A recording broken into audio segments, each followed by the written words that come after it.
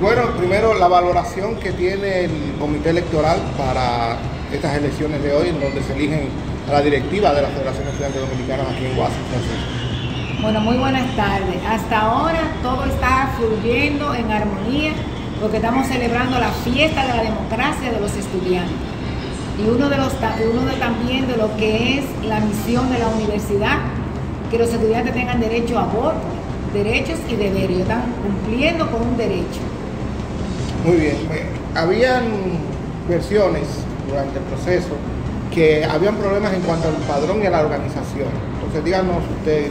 No, lo que ocurre, no hay deslocamiento del padrón.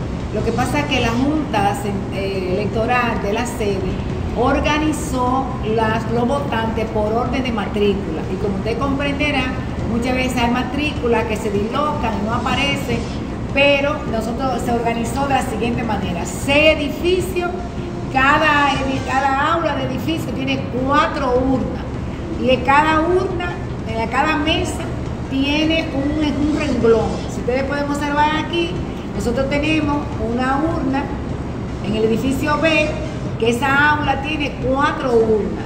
Esas cuatro urnas están distribuidas en 126A, 126B, 127A y 147 a que, es, que son los estudiantes que están en Cotuí, que salen campo Cotuí. Entonces, como ustedes observan, están en un renglón de matrícula. Eh,